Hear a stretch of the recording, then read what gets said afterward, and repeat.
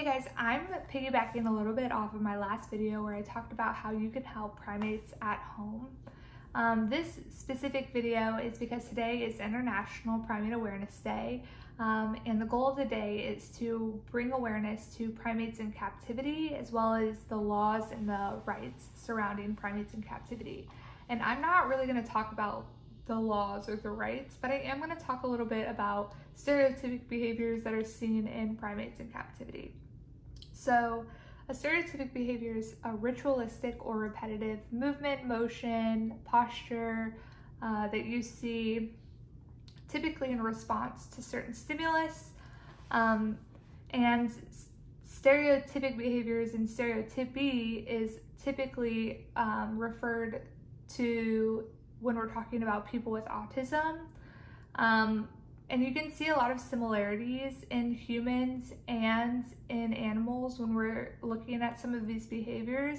But what we found is that these behaviors are typically more complex when we reference humans.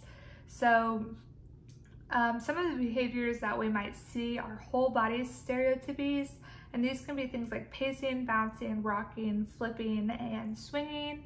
We have things like self-directed stereotypic behaviors, which are eye poking, finger sucking, which could be like thumb sucking, um, hair pulling, and self-grasping. So sometimes you'll see animals just pull their hair out or they'll like hold themselves like this, that's self-grasping. Um, you could see repetitive benign self-directed behaviors and that could be things like scratching, self-grooming, yawning, and body shaking. So these are behaviors that are repetitive, but they don't um, necessarily uh, hurt the animal. Um, and then we also have things like coprophagy, urophagy, and regurgitation. So that could be an animal eating its own feces or another feces, um, its own urine, or regurgitating, and oftentimes they will re-eat that as well. Um, so a couple things that cause this that I think of um, immediately are hand rearing and then a lack of a stimulating environment. So hand rearing is something that we've seen for decades in primates. Um, it's really common in chimpanzees in the 70s um, when they were being used in medical research and behavioral research. Um, and actually a lot of what we found out comes from that research um, when you take an animal, or specifically a non-human primate, away from its social group or its mother at a very young age, um, and you hand rear it either to be a human or to um, use in a medical setting, uh, typically this causes a lot of um, developmental behavioral developmental and behavioral issues. So a lack of understanding their species. They don't know how to communicate with their species. They don't know how to cope with uh, different stressors. Um, and this is all causes to stereotypic behaviors that you may see. Um, oftentimes, animals, especially when they're used for medical research, they were being used, they were being hand reared, um, but only enough to keep them alive, and then they would keep them in um, cages isolated by themselves so they would have no interaction with other um, animals of their species um, except for the instance that maybe there was some in the same room but in different cages. Um, they kept them in all kinds of different groupings and things like that. So um, that's one of the big ones. And when they're raised as humans um, they learn how to be human. So they pick up different traits uh, that they see within the human, but they never really learn how to be a human and they never really learn how to be a primate. So this can cause a lot of issues um, in animals kept as primates, and this is one of the biggest ones that you see in sanctuaries and zoos today because um, a lot of animals who are kept as pets, um, specifically um, chimpanzees, capuchins, marmosets, um, they exhibit a lot of stereotypic behaviors and they are often relinquished to sanctuaries and zoos um, where they have to then learn how to interact with their species in the best way they can. And sometimes they can learn how to interact with other species, but sometimes they're um, their behavioral and their de developmental damage is so much, they don't ever really learn how to interact with a normal social group. Um, this is one of the reasons that reintroduction of primate species is so hard. It is possible in some species, but in a lot of the great apes, it's not something that we've been able to do successfully. Um, and then another reason that we see stereotypic behaviors is because um, their environment is lacking. They don't have enough stimulation to keep them engaged. So if you think about a human going into isolation, maybe it's quarantine, right? It's quarantine right now. A lot of us are at home by ourselves.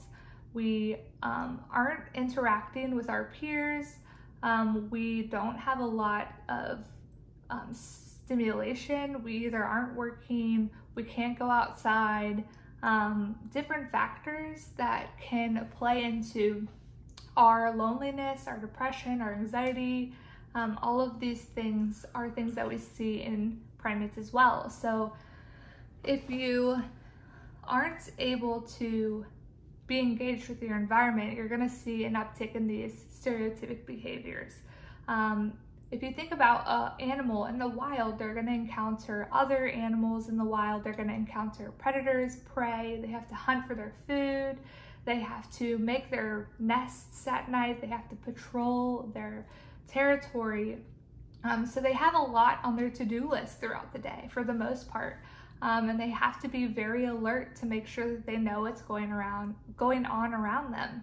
Um, and when you take all of those environmental stimulators out of their life and you put them into an environment that doesn't have that, you're gonna see them start to have this uptick in stereotypic behaviors. Um, so one thing that zoos and sanctuaries work really hard to do is to add enrichment and stimulation into these animals' lives so that they do have things to focus on and to um, engage in. Uh, and this isn't something that can always be done if an animal is kept as a pet. So pets are very expensive, um, but especially when you get into the non-human primates as pets, they are incredibly expensive. Not only is their vet care expensive, but keeping them engaged is really expensive. And if you are a human with a normal nine to five and you have a pet chimpanzee at your house, um, there's nine to five, that's a huge portion of the day where that animal isn't getting any stimulation from its social group. Um, and this can cause a lot of stereotypic behaviors. Um, so those are just a couple of the things. It's a very brief explanation of stereotypic behaviors, but it is, I think, a very telling one in that um, these reasons are big reasons on why keeping primates as pets is not a good idea because primates are very social. They need to interact with their peers. They need to really interact with their mother in order to learn how to communicate and be a normal primate. Um, and they also really need to have a social environment that has a lot of um, different stressors, different engaging factors. Um, and if you take a primate and you put it into a pet home, that's typically not something that can be facilitated for them. Um, and it's a big reason on why we have animals like chimpanzees in sanctuaries today. Um, there's also specific sanctuaries that take capuchins and lemurs and tamarins um, because people just cannot give them the lives that they need to thrive. And they're often given up because they start to exhibit a lot of behavioral issues, anger issues, um, and just like overall wreak havoc in their houses. Um, so if you guys have any questions about primates, make sure to leave your comments down below and I will try to get back to you. If you have any ideas on what you would like me to elaborate on, if you want me to elaborate more on this specific topic, I can definitely go into it. I just try to skim the surface in the best way that I can, and I'm hoping I didn't accidentally mess anything up. Um, but yeah, let me know um, down below. Thanks.